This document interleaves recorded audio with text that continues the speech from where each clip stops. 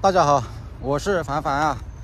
今天那个功夫小伙呀不见了，我今天还是跟往常一样过来找他，然后他不在景区了，因为他之前跟我说过，他要离开横店了。哎，没想到今天过来呀，没发现他了。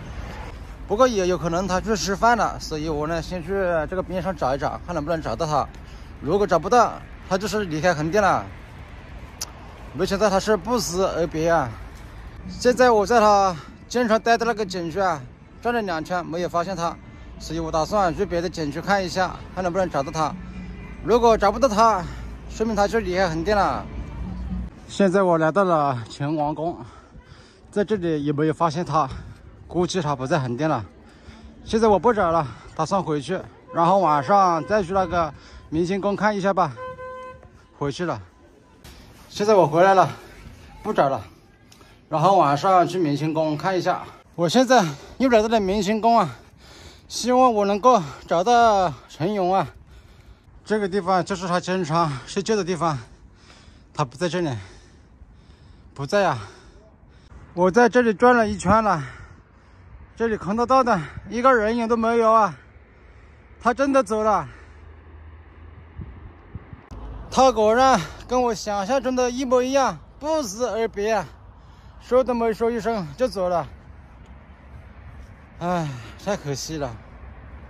我去，我刚刚在瞎逛，我看到一个脑袋，哈，我看到一个脑袋，然后我一叫，果然是陈勇啊，陈勇，哈哈，哎呦，我以为你走了。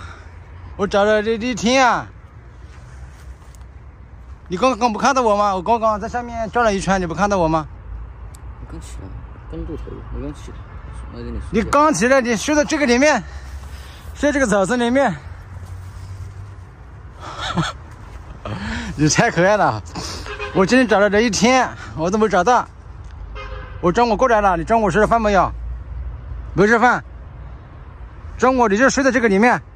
啊，看一下，中午他就睡在这个里面，啊，这个花丛里面，我不知道呀。如果你现在不起来的话，我根本看不到你啊。刚刚我在这里，哎，我想着啊，你走了，你不辞而别，说都不说一声就走了，是吧？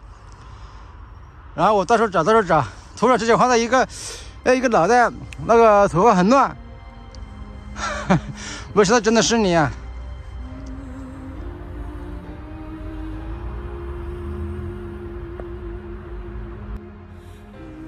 现在陈勇起来了，那你一天不吃饭了，是吧？那我们现在去吃饭吧。原来他就是睡在这个地方的，我我根本不知道。你不说的话，我这边的话也是碰巧发现了。